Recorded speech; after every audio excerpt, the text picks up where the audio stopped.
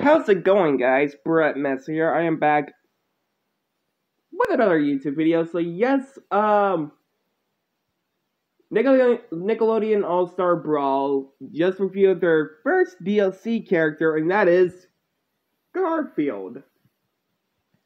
Now, Garfield will come out on the 9th for Steam, Xbox One, Xbox Series X and S, PS5, and PS4. And he will be available on the Nintendo Switch two weeks from today. So, yeah, how come I haven't been playing the game on YouTube for a while? Well, that that's why I was waiting for like uh, some updates for the DLC, the costumes, and all that. so yeah, guys, hope you guys like, comment, subscribe.